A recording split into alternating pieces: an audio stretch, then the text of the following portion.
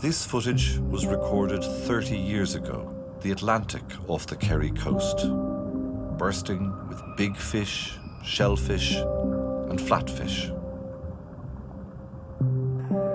This is the same place now, an underwater desert.